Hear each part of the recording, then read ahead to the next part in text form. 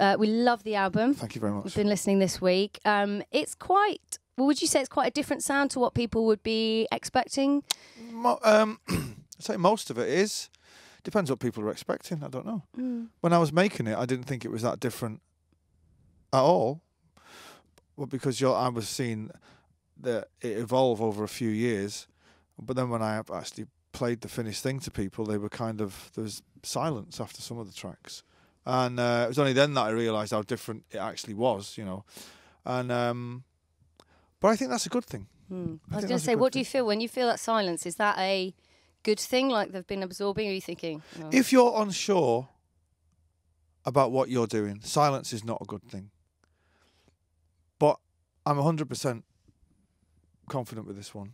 And uh, as I am with, my, if I'm playing it to people, it means I've kind of signed off on it and I'm, and I'm happy with it. But this one in particular, I don't care if nobody likes it. I love it.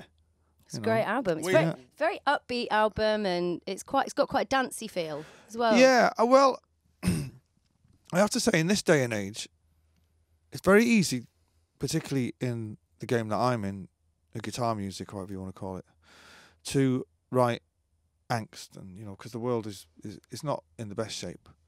I think a song like Holy Mountain, for instance, which is just full of joy and it's almost revolutionary these Mm. days, because um, rock music or whatever you want to call it, it seems to be a lot of shouting about some unspecified injustice that's going on with these. Like Dave Grohl, for instance, what's he on about? that What's he man shouting knows about? nothing, does But he's he? not shouting about anything. What's he shouting about? And um, Green Day, what are they on about? Do you know what I mean? It's kind of like rock has killed rock and roll almost. Um, but it's a it's a it's a pop album, I suppose. I guess yeah, but it's very it's very upbeat. Um, no, when you talk about your wife, that is the way that every woman wants their other half to talk about Oh, them. really? It's so lovely. I tagged my uh, boyfriend in a post of you talking about your wife because it was so lovely. As a sort of, you know, Ah. guide to this is how you, He Right, never does okay. that. you know. He Well, never- some, no. he's just sometimes he does, but it's it's very few and far between. And I was like, look how Noel Gallagher does it. This is how you. Right. Um, yeah. and so she is was amazing though.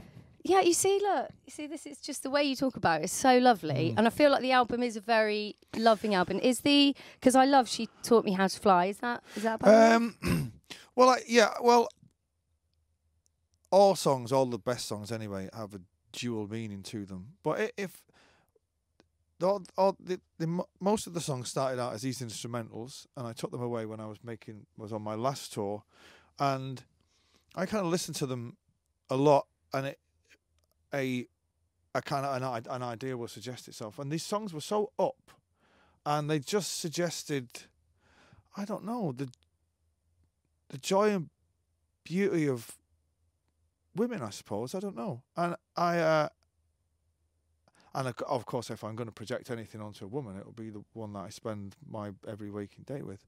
But um, she announced to me, we were having a discussion uh, one one night round round at our house. She was some of her friends were around, and I was upstairs watching TV and coming down, and I again got dragged into the kitchen and ended up getting drunk with them all.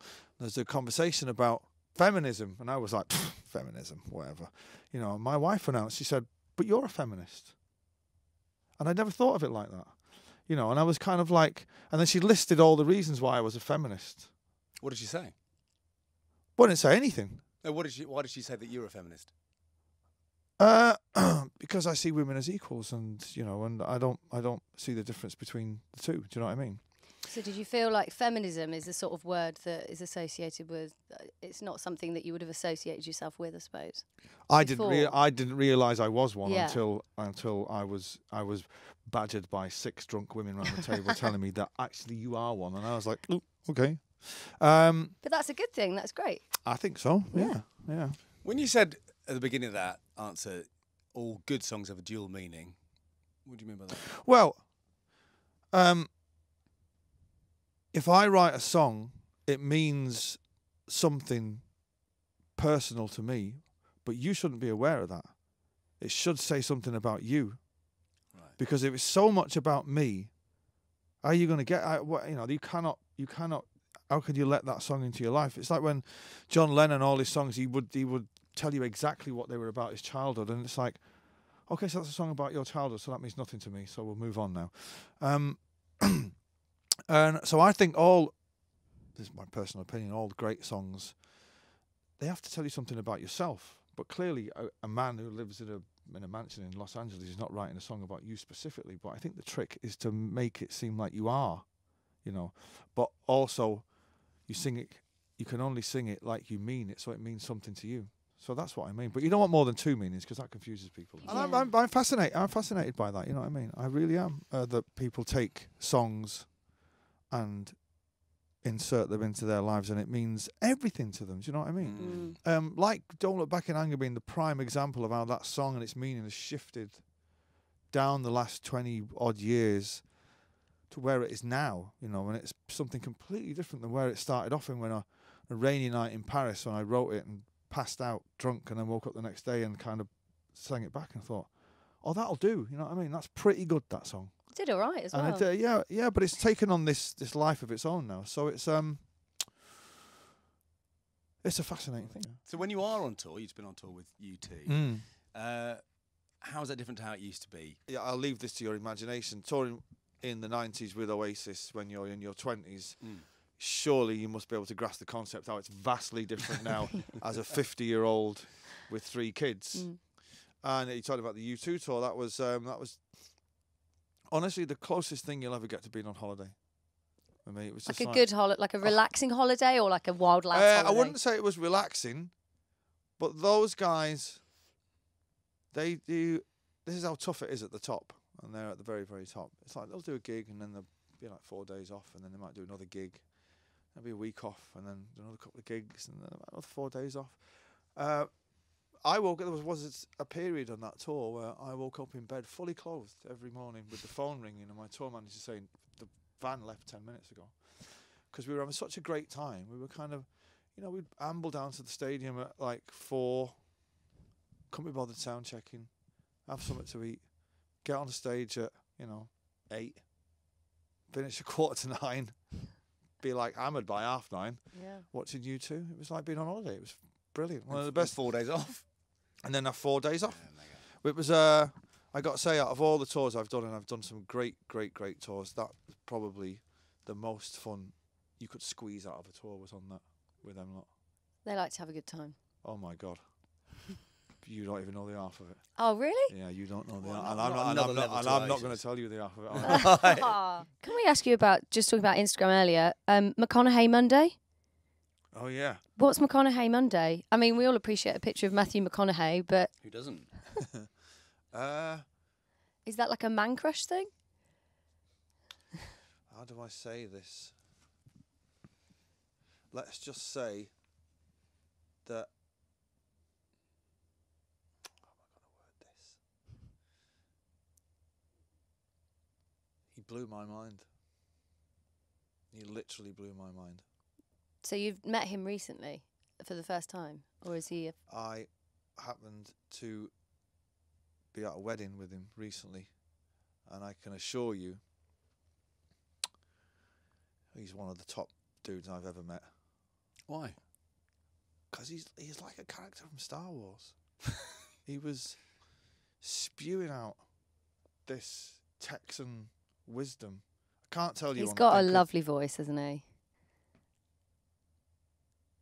I'm fascinated by that guy. I've I don't e- I'm, I, you know I, it's like the Wolf of Wall Street. I think that's the only thing I've ever seen him on, on True Detective. Oh yeah, that was that was amazing. So did you feel like he was one of the coolest pers- people you've ever? Oh, without a doubt. Really? Oh yeah, and the funny. Did he outcool Noel Gallagher? It's not that easy. I mean, it's not that difficult to mm. outcool me. I've got to say, particularly, Really? particularly at a wedding. I'm not very cool. We're crisp aficionados in my house. Oh, what's your crisp? Crisp of choice. That's like saying, "What's your favourite Beatles song?" I mean, you 'cause must have a top three. the- Top, top three, three. crisps. Okay, you can't. Okay. The beef flavoured Monster Munch. This is in no particular order, Right, and I can see you okay. grimacing already. Yeah, yeah. I Yellow, felt, I felt, but I you're- felt but- really uncomfortable. But you're a girl, No, go on, go okay? on, go They're on. the See, yellow- the the very- yellow- yeah, they're the yellow Yeah, ones. that's- They're like Yeah. from my childhood. They're unbelievable. Yeah. Now, any of the square crisps Now we're talking. are, as my seven-year-old would say, are totally legit, right? but for me, it's the salt and vinegar ones. They are the most legit, Yeah. Sonny. Agreed. Yeah. Can I high five you on that? I'm down with that. Thanks. And if you don't like a what's it, you've got no soul. Yeah, I just get bored halfway through the packet. No, because they melt in your mouth. There's many ways to eat them, and you, and the and the packets are so small these days. You can iron out three or four of them with a hangover. Can I throw in something a little controversial? If to it's a skip, no chance. Okay, I skip crossed my mind and then I realised Fish flavored crisps is mental. they don't taste. I don't think they're that fishy. well, the prawn, It's a more prawn lives, a prawn lives in the sea. Yeah. Okay. Okay. Um. You're, you're going How- posh, aren't you? Go No, posh. no, I'm not going posh. I'm going. I'm going for uh, for snaps, tomato snaps. You No, can only get them I've at, at them. You can only get them at really naff garages. They're not very mainstream Oh, anymore. They were big in the sort of late 80s, early 90s. You never had a tomato I snap. don't think so. Oh, if I could nip out to a shop, I'd get you some snaps. Tomato, f- just just tomato. Yeah, flavour. yeah, but it's it's quite a mild about you? What are you saying? Well, I was, I was going to go posh. I was going to go kettle crisps. Uh, Oh, I don't mind them Tyrrells things are good though, aren't Yeah, they? they're The, pretty sea- good. the, Yeah. the salt and vinegar ones are good. Yeah. I mean, Yeah. I, I wouldn't go and buy them because I don't know. But if if there's Pringles at a party, I mean, you, well, you unstoppable, isn't it? Really. Pringles are a bit they're a bit mainstream, aren't they? Mm. They have these crisps in uh, over in Southeast Asia. When I go on tour, my missus gets me to bring back tons of them. They're called twisties. So if anybody's listening from the firm that makes twisties, Twisties. What flavours of twisties? they do. Now the chicken flavoured crisp is a bit of an odd one because, well, it is, isn't it? You know what I mean? It's Yeah. not something It's I'd gravitate to. confusing, is Well, yeah. it works with Walkers. I think it works with Walkers. I'm not no, but these twisties have a chicken flavour, and you know what? They actually taste like chicken, which is good. Right. And then they have uh, like a spi- the obligatory spicy flavour, and then there's a plain flavour. Oh. Very nice. They have in Australia as well. Twisties, mate. I feel like someone should have brought up Frazzles. Actually, they're worth a mention. Yeah, Frazzles. They stick yeah. in your teeth though. Yeah, they do. Yeah. But They so do does so does a your what's it and a what's it um you know finger admin of a what's it because that you get that all over your Oh. it's Yeah, so but that's the best bit. Come on. I've got one. I've got one. um if we could just get no like a sort of one one word or a sentence on on some of these social media Unnecessary and exhausting. vegans Blaggers. Blaggers. Why blaggers? Got a girl in my band who claims she's a vegan. I was like, but that's a leather jacket. She's going, well, yeah, I know. And I was like, right, out next. okay Donald Trump Hilarious. mm.